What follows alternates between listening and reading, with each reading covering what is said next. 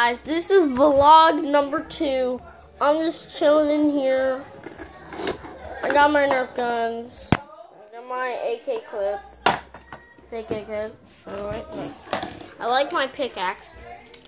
Ow! That actually hurts for some reason. I don't know why, but ah, I got this. My Nimchuck.